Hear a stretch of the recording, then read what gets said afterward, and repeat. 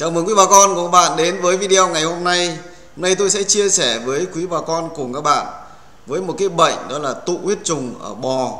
Đây là một cái bệnh truyền nhiễm rất nguy hiểm. Và nếu như không may mà bò của chúng ta gặp phải mà không có cái cách điều trị phù hợp thì sẽ gây thiệt hại kinh tế rất là lớn. Sau đây xin mời quý bà con cùng các bạn sẽ theo dõi cái video mà tôi đã ghi lại. Đây là triệu chứng của con bò đang có chữa và có cái biểu hiện ở phía ngoài khó thở chảy nước dãi.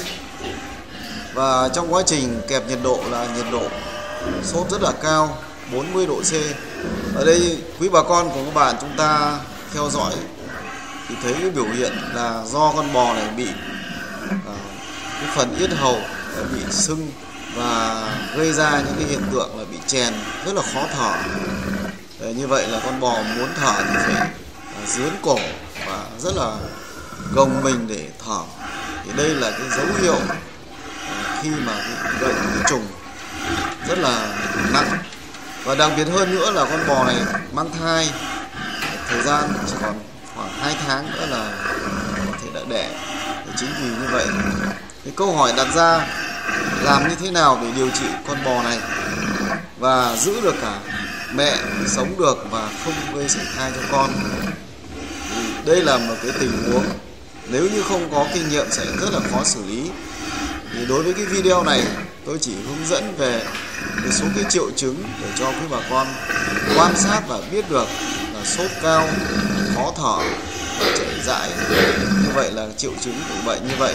Ở video sau tôi sẽ giúp cho quý bà con cùng các bạn về cái cách điều trị như thế nào để hiệu quả của cái bệnh này. Cảm ơn quý bà con cùng các bạn đã theo dõi video ngày hôm nay. Ở video thứ hai tôi sẽ chia sẻ cái cách điều trị dùng thuốc như thế nào và liều lượng như thế nào à, giúp cho quý bà con để có cái cách điều trị hiệu quả nhất đối với cái bệnh này ở trên bò hay gọi là bệnh tụ huyết trùng cấp tính.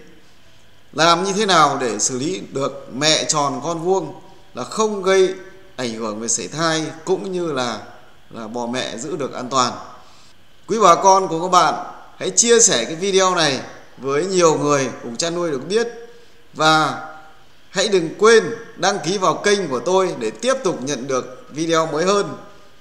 Xin cảm ơn và hẹn gặp lại quý bà con. Nhớ xem video thứ hai, tôi sẽ chia sẻ cho quý bà con của các bạn về cái phần điều trị cụ thể dùng thuốc như thế nào.